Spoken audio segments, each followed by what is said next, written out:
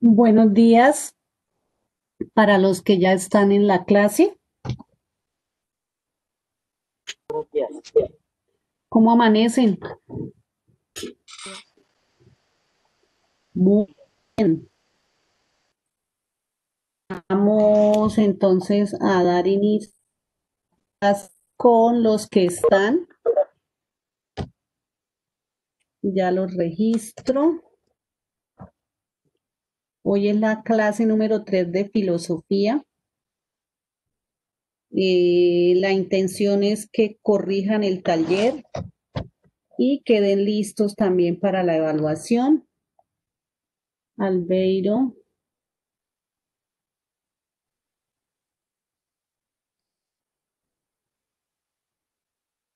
Juan Diego. Juan Diego, buenos días.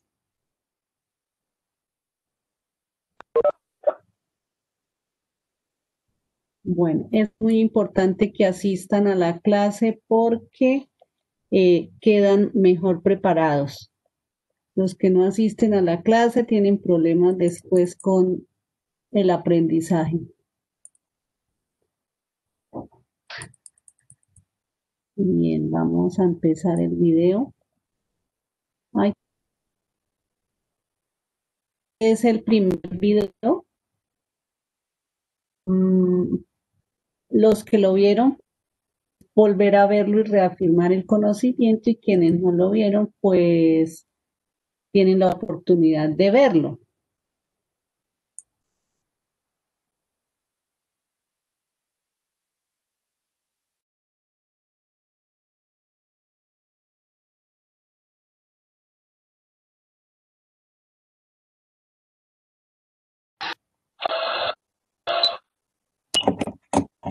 Hola.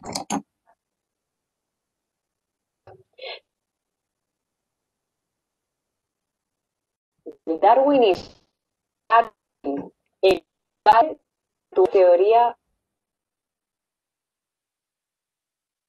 Darwin básicamente pasó muchas penurias económicas que venía investigando por islas del Pacífico y eso fue... Bien, el darwinismo parte de algunas presas. Os invito a ver, a ver eh, el vídeo del lamarquismo para así contrastar qué proponía Lamarck con qué propone el darwinismo. Porque vamos,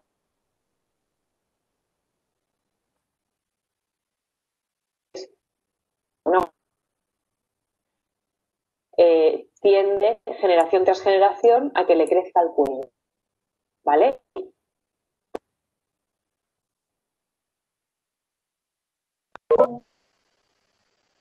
Y el darwinismo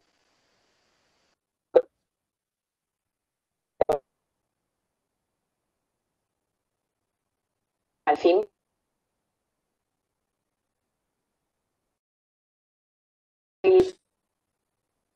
cerca las uh, separadas, pero que ocupan un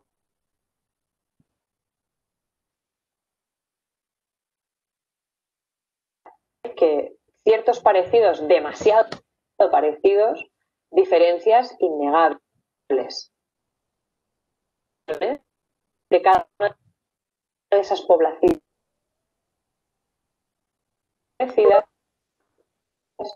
como digo, parece que están están modificadas. Bien, Darwin postula en este camino que si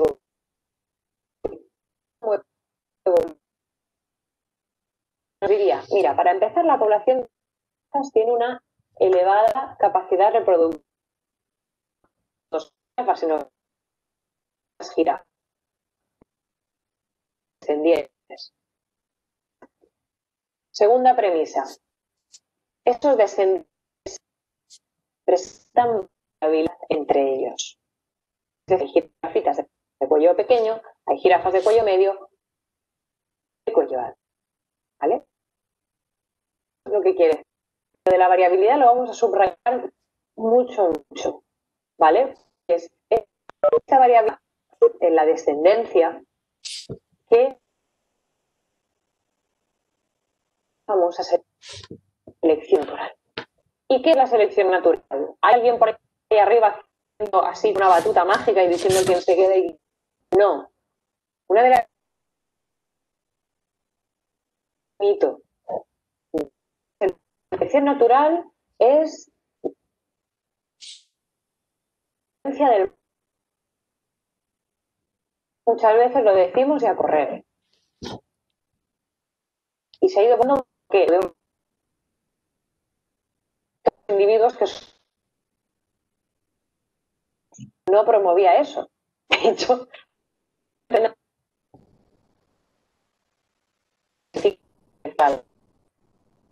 vamos a ver, la selección natural lo único que significa es que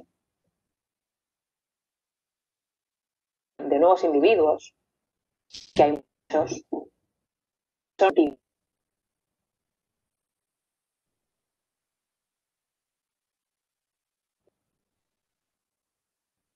pues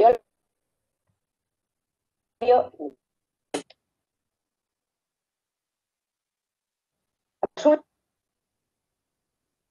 en, y en presentar cierta característica, como podría ser el cuello, da beneficio. Pero insisto, depende de con qué lugar el que va a ejercer una presión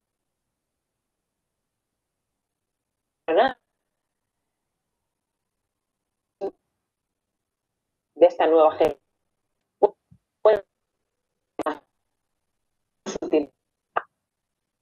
pues básicamente a la hora de sobrevivir, que es lo que quiere cualquier ser vivo, y segunda, de reproducción. O sea, se de sus genes a la siguiente. Con lo cual, la selección simplemente es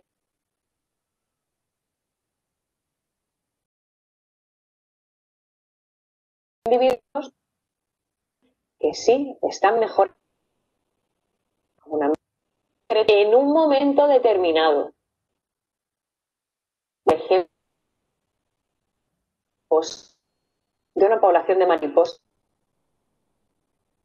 Hasta hace años la mayor parte de ellas eran blancas y las negras eran una minoría, mientras que empezaron a hacerse más populares las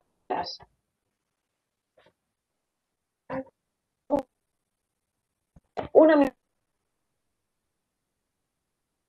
población y nuevas mariposas. Antes de la época de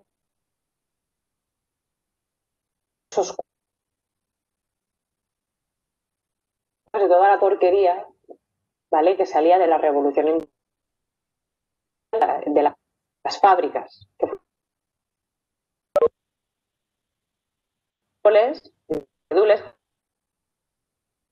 y esa población de mariposas se colocaba encima de los árboles que eran blancos, con lo cual blanca va muy bien apercibida a los depredadores, que no te van a ver, tipo camaleón. ¿Qué pasa? Que por el contrario, porque las cosas negras se veían a kilómetros, es decir, se veían desde muy lejos. Blanco, mariposa. Era casi un milagro. Cosas negras. los árboles se empiezan a oscurecer y ya no mola. Y no es que la mariposa voluntariamente diga, mm, vale, pues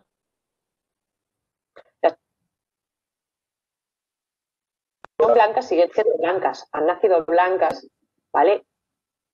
Era su carácter.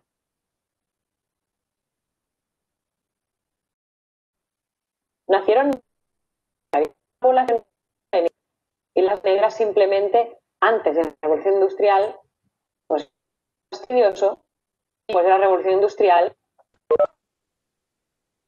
mejor adaptado.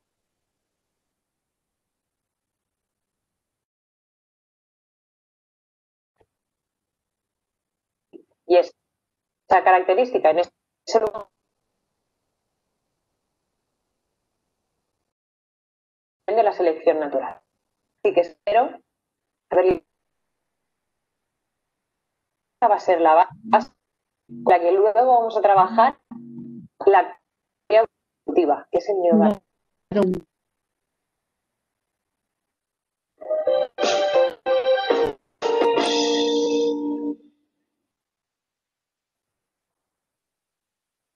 Señor, este, señor, ¿Necesitas una página web profesional ganadora? Acabo de crear la mía con Wix. Te la presento. Entras en wix.com. Con Wix puedes personalizar. Listo, ya estoy en clase, don Pedro, ya. Con mucho gusto. No, señor. Ay.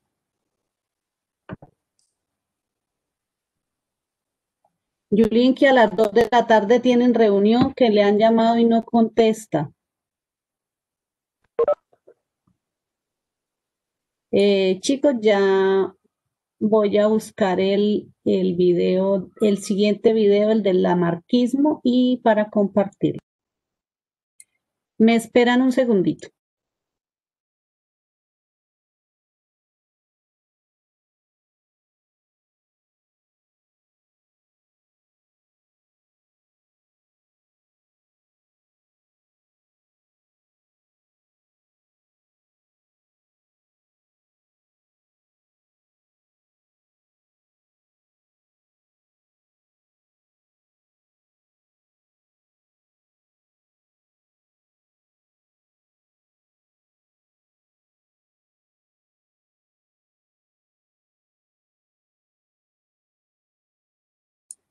Mientras tanto, entonces los escucho sobre el darwinismo. ¿Quién quiere comenzar eh, con el tema?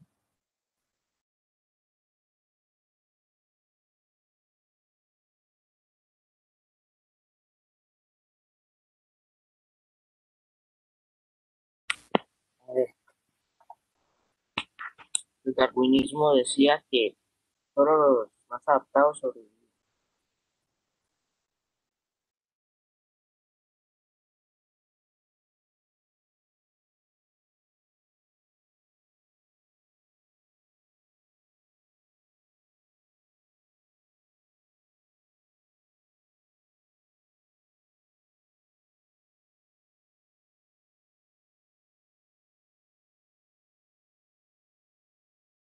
Sí, además de Albeiro.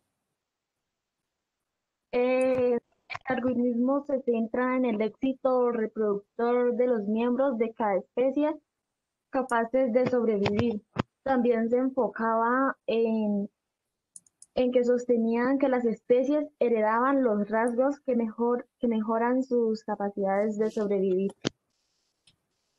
Bien, Mafe. Otro.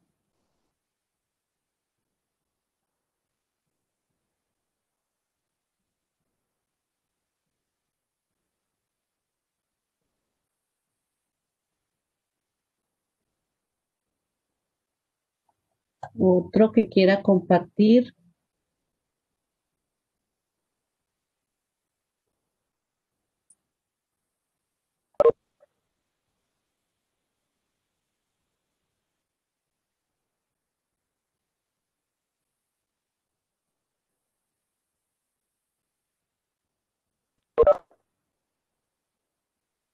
A ver, los escucho.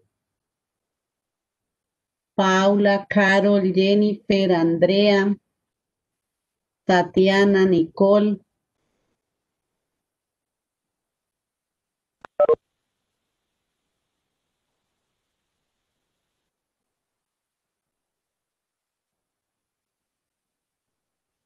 Profe, yo voy a participar. Sí. El darwinismo comienza a observar que hay una similitud que no puede ser casual entre especies que viven en islas separadas pero se ocupan una misma región geográfica. los descendientes presentan variabilidad entre ellos, es decir, hay jirafas de cuello pequeño, medio y largo. La selección natural es una fuerza que lo que hace es beneficiar a aquellos individuos que sí están adaptados en un ambiente concreto en un lugar determinado. Eh, Nicole, con sus palabras, ¿cómo entiende la teoría, la actual teoría moderna evolutiva?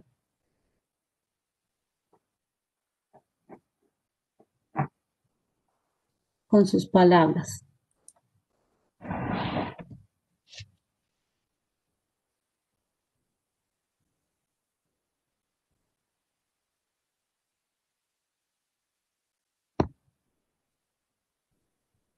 ¿Mm? Nicole. Pues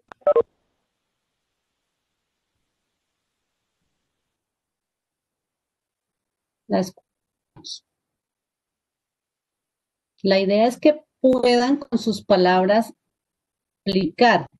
En el taller hay que escribir seis enseñanzas sobre el darwinismo y seis enseñanzas sobre el lamarquismo. Y después, el segundo punto, hacer un paralelo con las dos teorías para hallar sus diferencias y sus semejanzas. En este sentido, ¿qué es el darwinismo?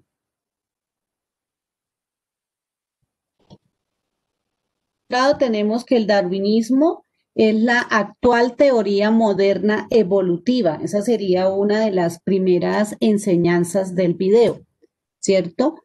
Eh, segundo, que Darwin eh, fue un científico que aprovechó los recursos que tenía para viajar y conocer ciertos territorios eh, en la parte, ¿cómo se llama?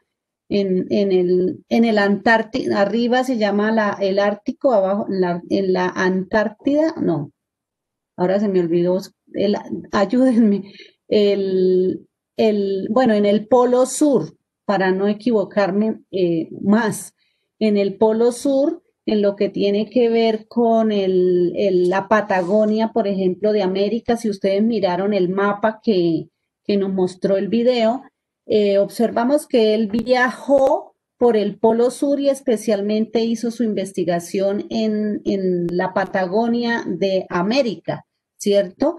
Eh, observando en todas las islas, porque allí en este espacio hay una multitud de islas, hay muchas islas grandes y pequeñas y muy pequeñitas donde habitan eh, muchas especies. Entonces lo que hizo Darwin fue, Darwin fue observar las especies, tanto animales como vegetales, que habitan esta, estos lugares y se dio cuenta que eh, estas especies la misma especie habitaba las diferentes islas, pero él observó que aún siendo la misma especie tenían, eh, así como tenían algunos parecidos, también tenían algunas diferencias. Y lo que hizo él fue observar tanto las similitudes como las diferencias e investigar y sacar conclusiones del porqué de esas pequeñas diferencias. ¿Ya? Y uno de los ejemplos que, coloca, pues es el de las jirafas. Observaba que como en unos lugares o en un momento determinado las jirafas tienen el cuello más largo, otros lo tienen mediano y otros lo tienen pequeño. Y fue así como él, eh, a partir de esa investigación, puede escribir la teoría evolutiva y cómo evoluciona el cuello de las jirafas. Y una de las de las causas por las cuales evoluciona el cuello de las jirafas es, eh, depende del momento determinado y un lugar concreto donde estén ubicadas. Por ahí hay otra, ya van como unas cinco enseñanzas. Entonces, eh, otra de, una de las conclusiones es que son las observaciones que hace de ciertas especies. Por un lado, eh, que se multiplican mucho, si se multiplican, entonces hay mucha población. Y tercero, si hay mucha población, pues hay variedad. De, en, cuando hay mucha población, pues hay mayor variedad. En este caso, hablando de las jirafas, porque igual él también observó, por ejemplo, las tortugas. Él, él observó todas las especies que se podían, que, que viven y conviven en esos espacios. Eh, otra de las enseñanzas es que ese ejercicio de sobrevivir, de la supervivencia del más apto, que fue como la conclusión general que sacó, que en esas condiciones, cuando hay una lucha por la supervivencia, entonces sobreviven los más aptos. En el caso de las jirafas, pues las jirafas de cuello pequeño no van a sobrevivir en un ambiente donde las plantas son altas y donde también hay mucha competencia por la alimentación. Entonces, la alimentación está más bajita, pues donde hay mucha jirafa rápidamente se la comen. Las de cuello mediano alcanzarán hasta donde están las siguientes y las que realmente van a sobrevivir son aquellas del cuello alto porque alcanzarán las ramas más altas de las plantas y, y encontrarán más alimento que las otras. Ese ejercicio es el que se llama el de supervivencia del más apto y también nos explica, hay otra de las enseñanzas y es que la selección natural no la hace el individuo, por eso se llama natural. Se da de manera natural, eh, es una puerta que beneficia a los individuos mejor adaptados en un ambiente y en un momento determinado. Esa es la selección natural. No es el individuo el que la busca o el que la, el que la produce, no la, la, ofrece la misma naturaleza. ¿Para quienes Para los que estén más aptos. Hoy día se habla de, de, la supervivencia del más apto, no solo en los animales y en las plantas, sino también en los seres humanos. Otra de las enseñanzas que nos deja este video es que hace 200 años, hace, mm, bueno, no recuerdo exactamente la fecha, de la, antes de la revolución industrial, eh, debido a que no había contaminación por cuenta de la, de la industria. Eh, la, las mariposas, la mayoría de las mariposas eran blancas. ¿Por qué? Porque ellas no necesitaban eh, esconderse como lo hacen ahora. Entonces, eh, debido a la revolución industrial, a la contaminación de las fábricas, a la contaminación que empezaron a emitir también los vehículos, los árboles y todas las superficies empezaron a llenarse de humo y se volvieron negras. Debido a eso, entonces también empezaron a nacer ya no mariposas blancas, sino mariposas negras que necesitan también protegerse, que no las vean y por eso son negras. Eh, ¿Qué otra situación? Entonces las mariposas mutaron su color, cambiaron su color como un mecanismo de protección para poder sobrevivir. Eso es como el ejercicio de la, de la teoría actual, moderna, la teoría evolutiva, cuyo el padre de esa teoría es Darwin. Ahora quisiera escucharlos qué pudieron encontrar sobre Lamarck sobre Batista Lamar, Jean Batista Pierre Anthony de, de Monet, Chevalier de Lamar. ¿Qué ideas pudieron recoger para el trabajo?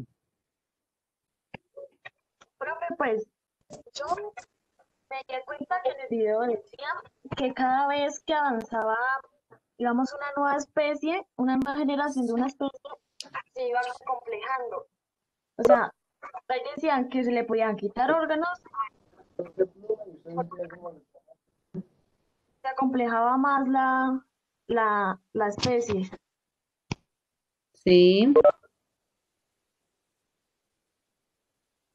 O que la característica de un ser se pasaba a otro ser.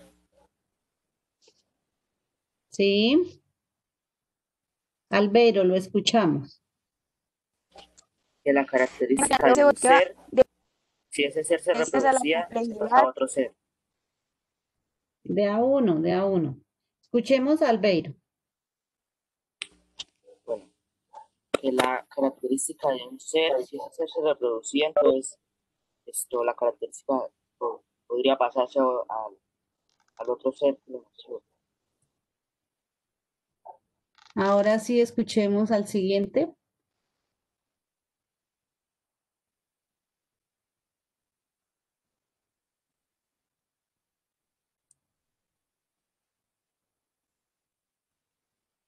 ¿Qué Los pasó? que ya ganar establecer órganos provoca sudoración. Las ji- jirafas, las jirafas que tienen el cuello largo y tienen crías, sus, los cuellos de las jirafas van a salir largos. Sí, los caracteres se heredaban. se, los caracteres se heredan.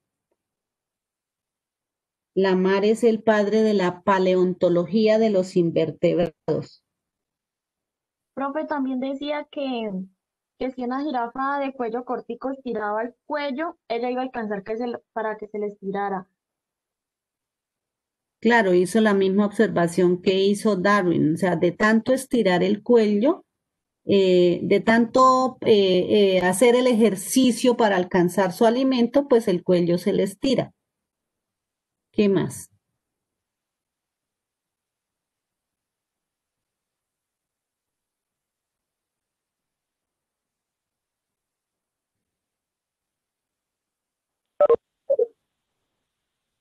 Solo tengo tres estudiantes que participan y los demás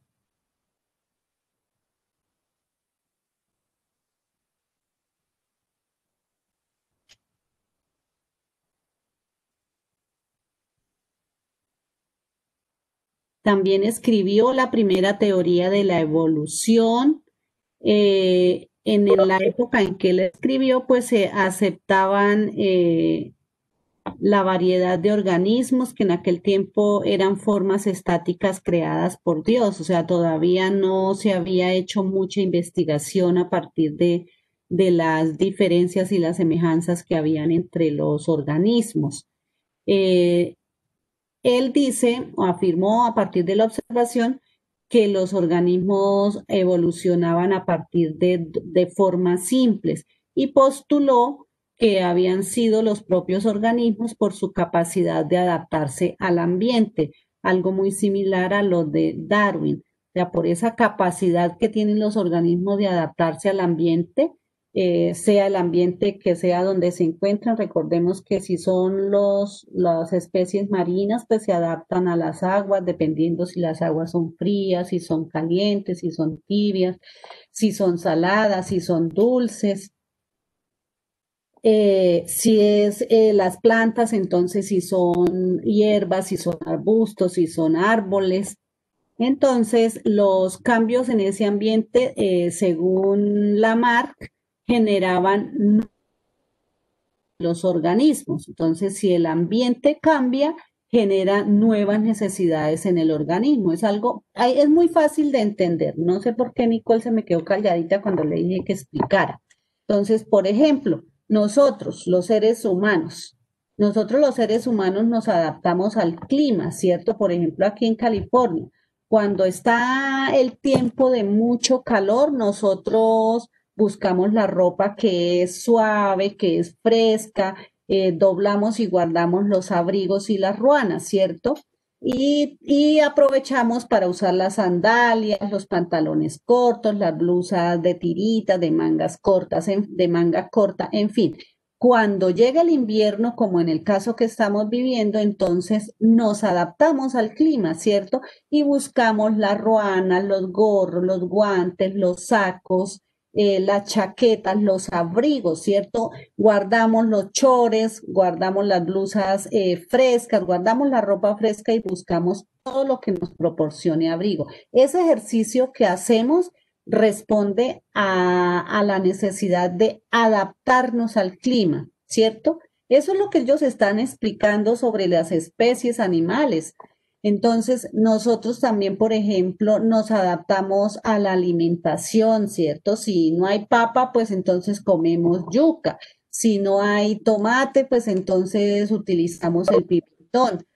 Nosotros nos adaptamos a las condiciones, a las circunstancias, al medio. Entonces, por ejemplo, si vamos a la costa, allí no vamos a comer eh, pollo, allí vamos a comer pescado. Es una, una alimentación diferente y nos adaptamos a ese medio. Si vamos a otro lugar, entonces cambiamos de clima, cambiamos de alimentación, cambiamos de la forma de vestir. O sea, nosotros adaptamos muy fácilmente a los, al medio.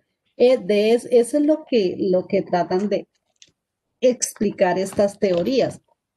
Y quienes eh, tienen menos problemas entre los seres humanos, pues las personas que fácilmente se adaptan al medio donde están, eh, se adaptan también a la comunidad en la que vive en ese lugar. Recuerden que el que llega es el que tiene que adaptarse a las condiciones de vida de los que viven en ese lugar.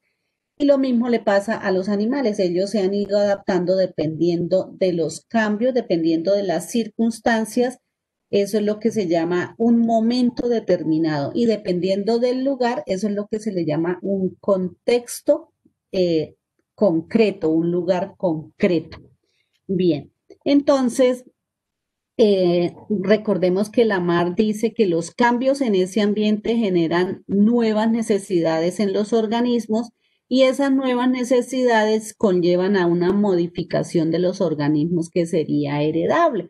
Entonces, por ejemplo, eh, los pollos o las aves, ellos hicieron una observación de las aves y en cada isla, por, por, decir algo, observaron 10 islas donde estaban los mismos pajaritos, la misma especie de pajaritos, pero les observaron que eh, dependiendo del lugar donde vivían, los pajaritos tenían modificación, por ejemplo, en el pico y en el color de sus plumas.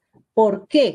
Porque dependía de la alimentación que ellos consumieran. Recordemos que dependiendo de la alimentación es el brillo del plumaje. Y si la alimentación que consumen es dura, pues el pico tiene que hacer mayor esfuerzo.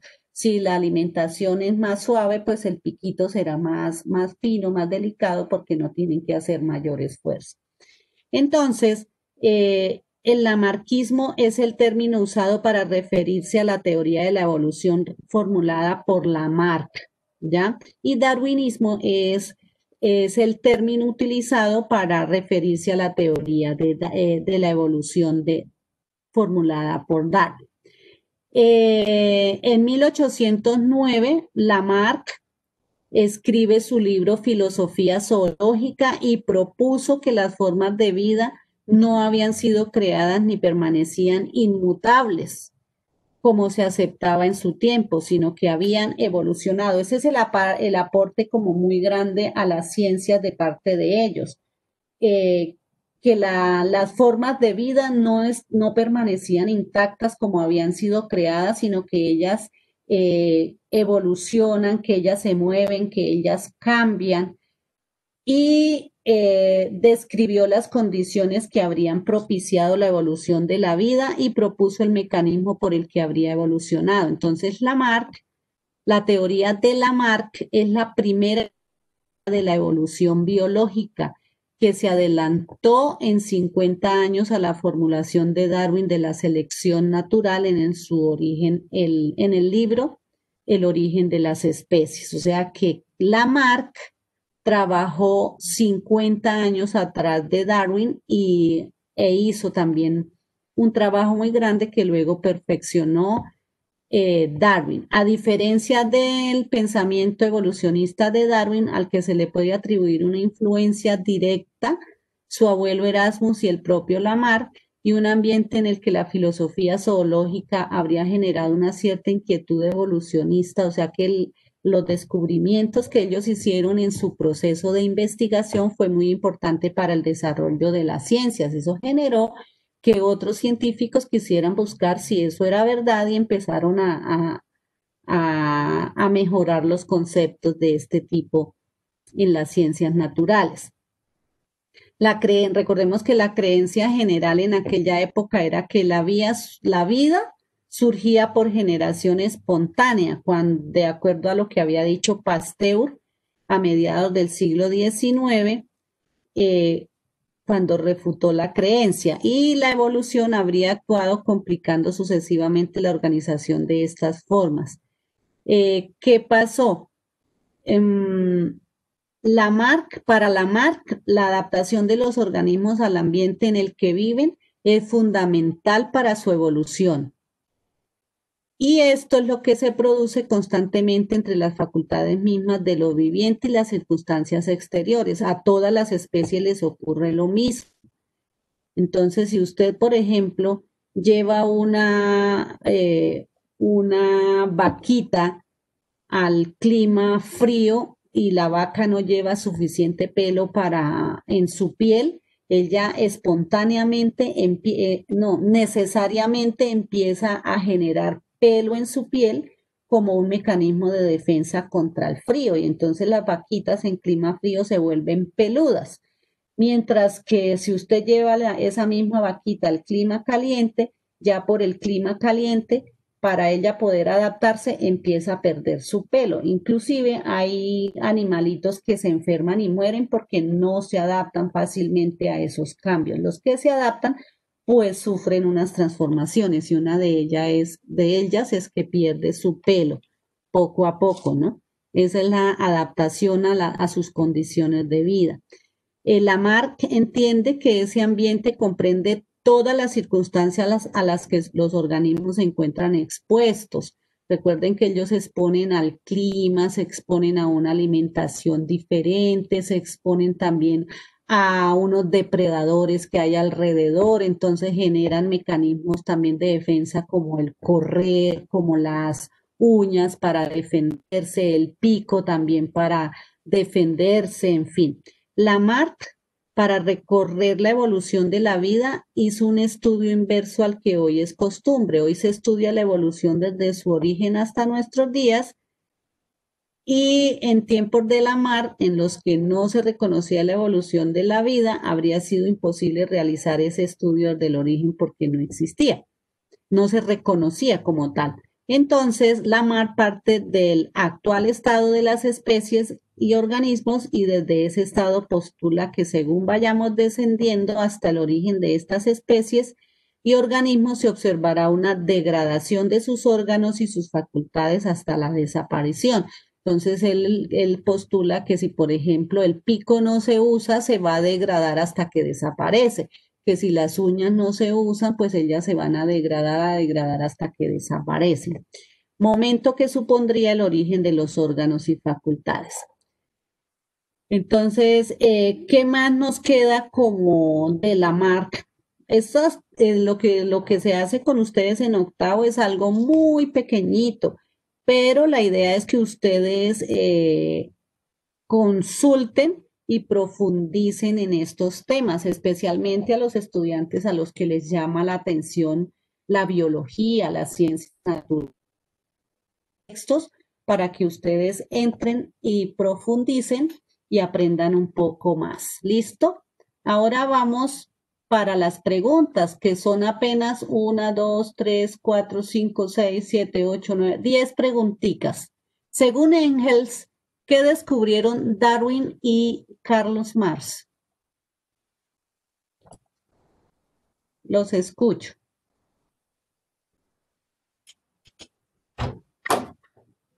Escucho de la naturaleza orgánica, descubrió la, desarrollo de la naturaleza, más descubrió las leyes del desarrollo histórico de la humanidad. Otro que nos cuente la respuesta.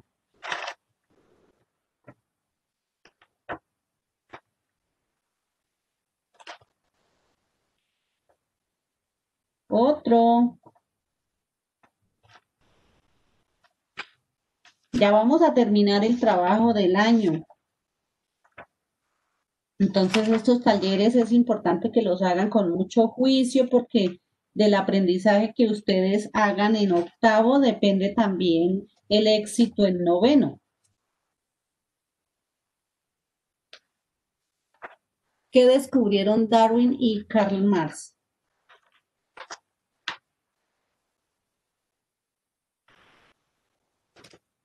¿No hay nadie más en la clase?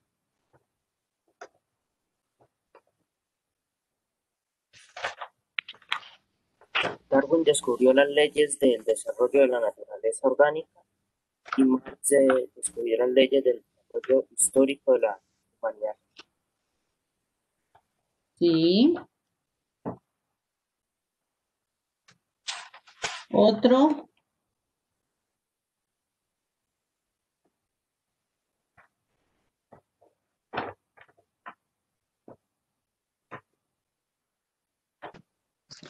Bueno, por un lado surgió la socialdemocracia y por otro el leninismo. La socialdemocracia había abogado por una aproximación pacífica al socialismo y el leninismo en que solo la revolución podría combatir la vieja sociedad de clases, pero los dos movimientos, cada uno desde su lado, han combatido la miseria y la represión. Eh, desde su punto de vista, eh, ¿por qué nos colocan esta pregunta? Darwin por un lado y Marx por el otro lado. ¿Quién se atreve a responder esa pregunta? Es súper importante, ¿no? Sí. Igual, yo no sé si de pronto esto mañana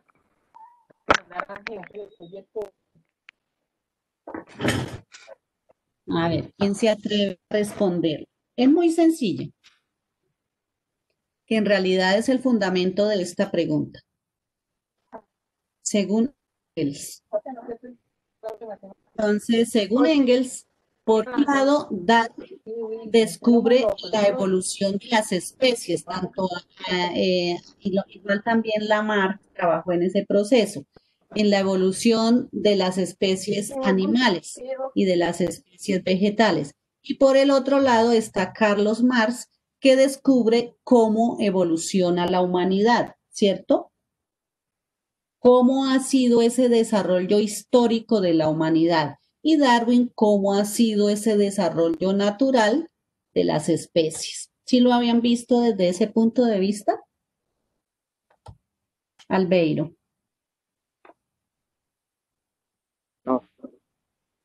Desde ese punto de vista era que tocaba mirar esa pregunta. ¿Ya?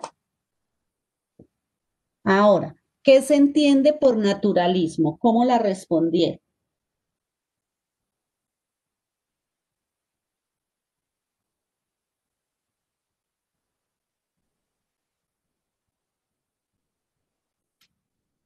En el video nos explica muy bien, en el video de la teoría moderna evolutiva, nos explica muy bien qué es eh, el evolucionismo. Eh, perdón, por naturalismo. Entonces, realidad. Eh, por una parte dice que es, es una puerta que beneficia a los individuos mejor adaptados en un ambiente y en un momento determinado, que naturalismo no es algo creado por el hombre, que se da de manera natural, ¿sí? Sea, es una, es una acción natural increada que se da es por la necesidad de, los de la necesidad de las especies. Entonces, eh, ustedes muy probablemente tendrán que se entiende por un, un, concepto de la realidad que no admite ninguna otra realidad que la naturaleza y el mundo perceptible, pero hay que entender ese, ese texto tal Ahí hay un concepto muy filosófico, pero ustedes lo deben entender en sus propias palabras. ¿Qué es el naturalismo? ¿Cierto?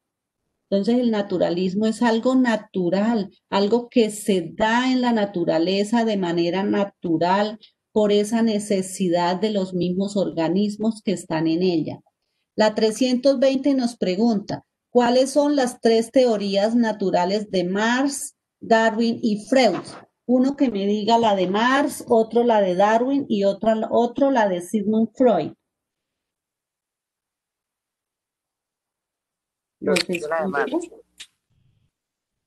Sí. Marx había, había señalado que la ideología de que los seres humanos son un producto de la base material de la sociedad. Casi no lo escuchamos. Albeiro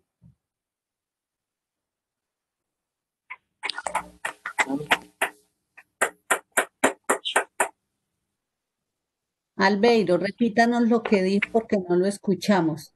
A ver, que Marx había señalado que la ideología de que los seres humanos es un producto de la base materia, de la base materia de la sociedad. ¿Y eso qué quiere decir?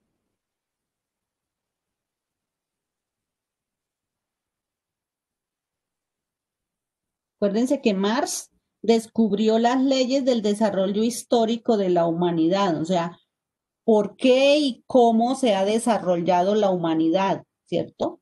¿Por qué la humanidad no se quedó allá estancada eh, en, en, ese punto de la, de la creación o cuando surgió, sino que ella ha ido evolucionando, ella ha ido cambiando. Si ustedes le preguntan a sus papás, ustedes no, no, no son iguales a sus papás, ustedes han ido cambiando. Si ustedes comparan a sus papás con sus abuelos, sus papás también eh, tuvieron cosas distintas a las de sus abuelos. Si ustedes averiguan y comparan la vida de sus abuelos con la de sus bisabuelos, también ha evolucionado la forma de vestir, ha evolucionado la forma de hablar, ha evolucionado hasta la forma de caminar, ha evolucionado la educación, ha evolucionado la alimentación. Si ustedes dirán, le preguntan a sus abuelos y ellos dirán, ah, nosotros nos alimentaron con mazamorra de maíz tostado con habas.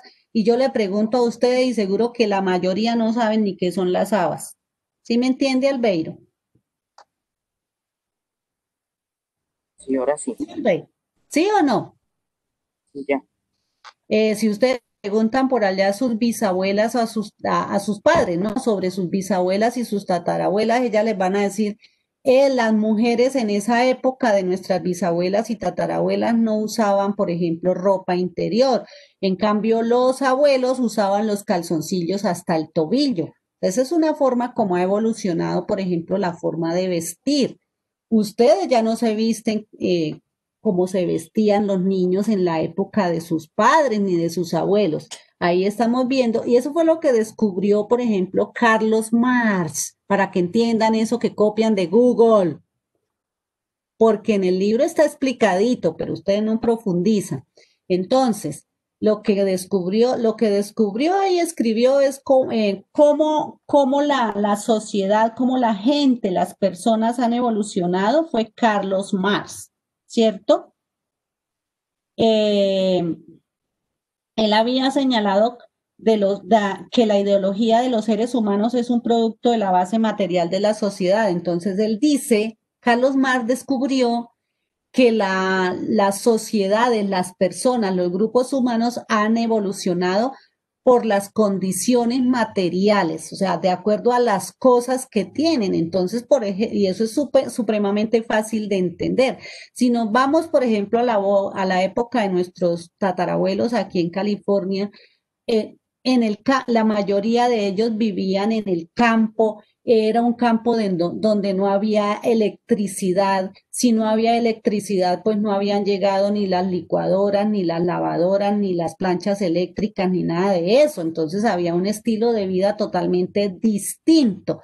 ¿Cómo evolucionó esa comunidad rural cuando le, le instalaron la electricidad que llegó al campo y en el caso de aquí, por ejemplo, de la Baja y Angosturas, en California, no hace más de 50 años, hace menos de 50 años que llegó la luz a esas veredas, hace eh, por lo menos 40, hace por lo menos 40 años, no más.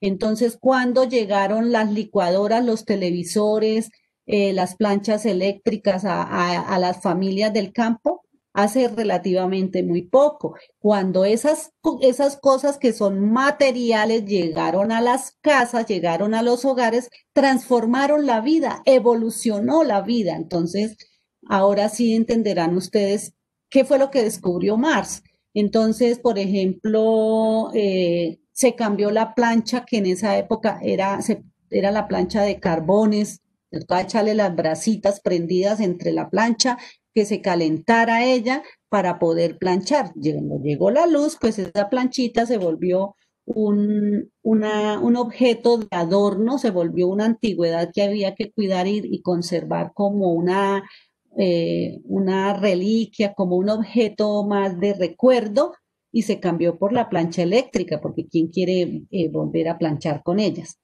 Cuando llegó la lavadora, también transformó las condiciones de vida, sobre todo de la madre en el hogar, que era la que le tocaba darle ahí a los chiros, estregar, cepillar, golpear, eso era una época palo le daban a los pantalones para que soltara mugre. Hoy día los echan allá, les ponen todo el ciclo dependiendo de qué está más percudido o, o un ciclo muy corto para aquella ropa que no está tan percudida. Eso hace que cambie, eh, que evolucione también la manera de pensar y de ver la vida.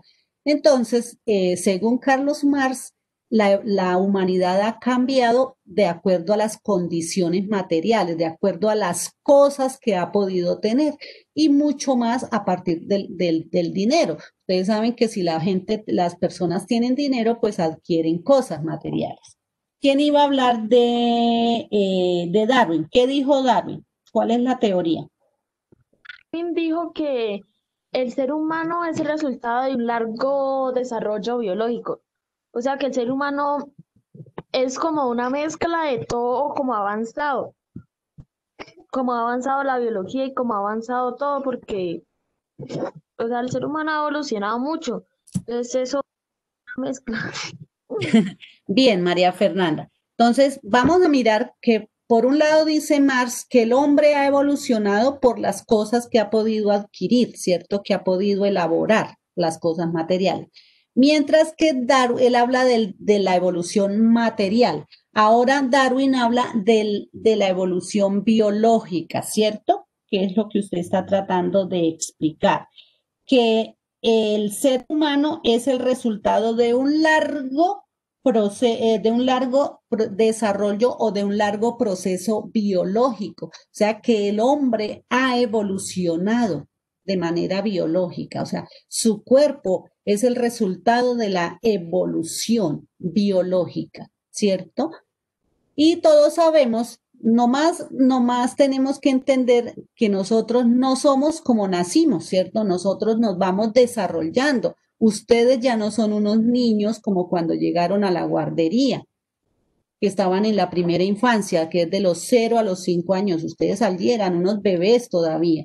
Luego de los 5 a los 10 añitos, ustedes sufrieron una transformación. Eso es lo que se llama desarrollo biológico, ¿cierto? Crecieron, todo su cuerpo se transformó. Eso es desarrollo biológico del que habla, eh, ¿quién? Otro que no haya dicho nada. El desarrollo biológico es la teoría de quién. Puren. de Darwin, de Darwin. Ahora, después de los 10 añitos, por ahí hoy día, de los, ah, incluso antes de los 10 añitos, hasta por ahí a los 15 años, sufren otra transformación mucho más interesante. Cambian de manera repentina. Las niñas tienen su primera menstruación, que se llama la menarquia. Eh, eh, les empieza a crecer el busto, eh, se empieza su cuerpo a, de una manera más bonita, sus facciones se perfeccionan, eh, empiezan a tener unos gustos diferentes, se preocupan un poco más por ellas. Eso, ahí está la evolución, el desarrollo biológico del que habla, por ejemplo, Darwin. Las personas se transforman, los seres se transforman, todos los seres vivos se transforman y así como ocurre en nosotros, también ocurre en las plantas, ocurre en los animales. Ustedes miran una plantica, también tiene su infancia, comparándola con la de nosotros. Ella tiene su, su infancia, su adolescencia, su madurez, su adultez y su vejez. Entonces ella empieza a crecer y es toda frágil. Después ella empieza a ponerse toda bonita y echa sus flores, entonces está en su juventud, ¿cierto? Después de las flores, ella sus frutos, entonces ya está en su edad adulta, ¿cierto? En su edad madura, sus frutos maduran y se recogen. Y después de que ya pasan los años, ella también entra en una edad, eh, en una vejez, como lo, nos pasa a nosotros. Ese es el desarrollo biológico del que habla Charles Darwin. ¿Quién va a hablar? de Sigmund Freud. Puren, uno diferente a María Fernanda y Albeiro. Para los puntos solo voy a tener en cuenta los estudiantes que hacen aportes en clase. Profe, yo. Sí. ¿Quién es yo? Freun, ¿Quién es? el, Espere, del. Sur, ¿Quién es? ¿Quién es? ¿Quién es? Karen Durán. Dígame. Karen. Freun del Sur consciente mostró que los actos de los hombres se derivan a menudo de ciertos instintos animales. ¿Qué significa eso, Karen?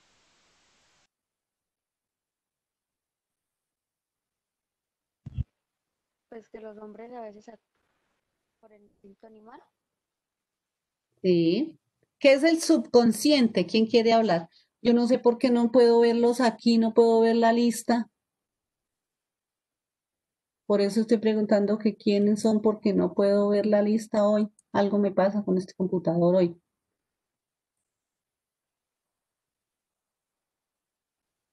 ¿Qué es el subconsciente? Conjunto de procesos mentales no No, pero no percibidos. me busquen por allá el significado en el computador, en el diccionario, no. Lo que ustedes saben, ¿qué es el subconsciente?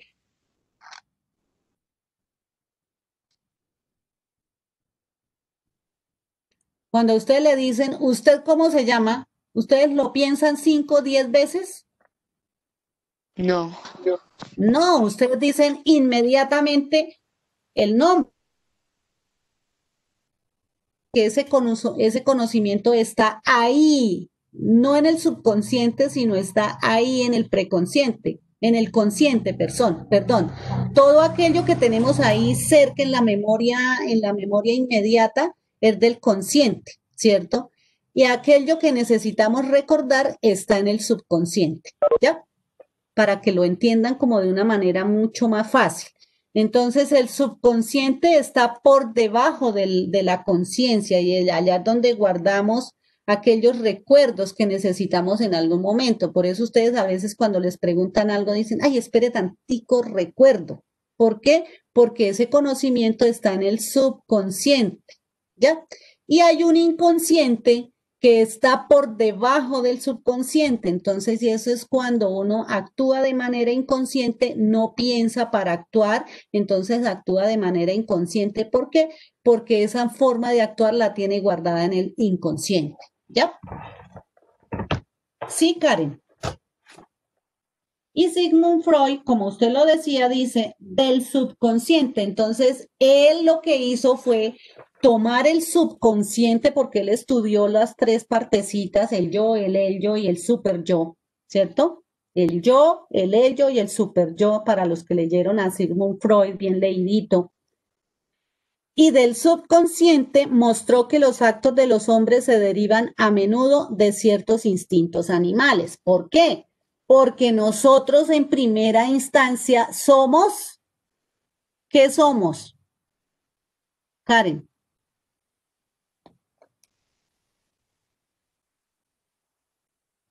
¿Qué somos si no nos preparamos, si no nos educamos, si no nos controlamos, si no aprendemos a, a manejar las emociones y, la, y, y- y la, la- las emociones y las pasiones? ¿Qué somos? Karen.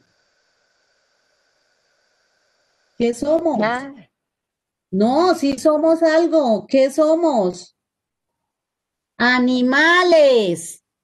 A ver, ubíquense en la respuesta que tienen allá escrita sobre Sigmund Freud, porque la idea de esta clase o la idea de las clases es que entiendan lo que, lo que respondieron, porque es que yo sé que ustedes tienen allá ya hecho el taller, son 10 preguntitas y que las buscaron por allá en, Google, pero no entienden. Entonces, la función de la clase es hacerles entender esa respuesta, ¿sí? En esa pregunta, Freud dice que del subconsciente mostró que los actos de los hombres se derivan a menudo de ciertos instintos animales. ¿Por qué? Porque somos seres humanos y que en algún momento nos comportamos como animales, ¿cierto? También tenemos instintos. Si nosotros no aprendemos desde muy pequeños, desde el momento de la concepción, si no aprendemos a manejar las emociones, las pasiones, los deseos, entonces actuamos también como animales. O me van a decir que no pasa, por ejemplo, que si una madre no aprende a manejar la soberbia, termina golpeando de manera animal o bestial a su hijo. o, o un, o un hombre que no ha aprendido a controlar su, su soberbia, su rabia, no termina también golpeando a la esposa o la esposa golpeando al esposo y esos son instintos animales. Bien. El comer es un instinto animal. ¿Y nosotros qué hacemos? Pues aprendemos a sentarnos a la mesa, aprendemos a manejar los cubiertos, aprendemos a, a seleccionar también los alimentos, cosa que los animales no aprenden. ¿Listo? Para entender muy bien las tres teorías. ¿Listo? Profe, qué pena. Sí. ¿A qué hora se acaba la clase? Es que, pues, ahorita tenemos clase de matemáticas. Y el profesor nos está esperando. Ay, Dios mío, yo no me fijé en la hora de terminar y sí quería explicarles las, la, todas las preguntas. Entonces, nos vemos el jueves. Continuamos con las otras preguntas y cerramos por hoy. ¿Listo? Que estén muy bien. Un abracito. Eh, Gracias. Profe, solamente tendrán puntos de participación en la clase quienes participaron en la clase. ¿Listo? Que tengan un buen día. Retírense entonces porque es urgente. Chao, profesor. Chao, chao.